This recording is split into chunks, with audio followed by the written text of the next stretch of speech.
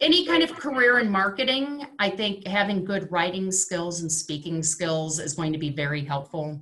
Uh, specifically in the world of tourism or Broadway, I would say good people skills, like being able to build relationships very quickly in a short amount of time, and being curious.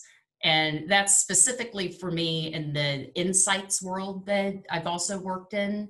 Uh, and that just means looking at data, whether it's website visits, what kind of people are coming to your website, ticket sales, who are buying those tickets, how far in advance are they buying those tickets, and kind of doing market research and surveys and combining all of that stuff in a way where you're answering questions about what can you do better.